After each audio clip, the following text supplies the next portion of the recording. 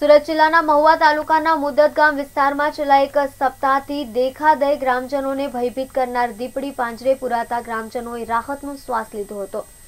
મહુવા તાલુકાના મુદત ગામમાં છેલ્લા એક સપ્તાહથી દીપડી જોવા મળતા ગ્રામજનો ભયના ઓથાર નીચે જીવી રહ્યા હતા અને રાત્રિ દરમિયાન ગ્રામજનો ઘરની બહાર નીકળતા ગભરાતા હતા. આ અંગેની જાણ વન વિભાગને કરાતા વન વિભાગે મુદત ગામ ખાતે ગોઠવાયેલા પાંજરામાં મારણની લાલચે બે વર્ષે દીપડી આવવા સપડાઈ જવા પામી હતી. અને દીપડી પાંજરે પુરાતા ગ્રામજનોએ હાશકારો અનુભવ્યો હતો.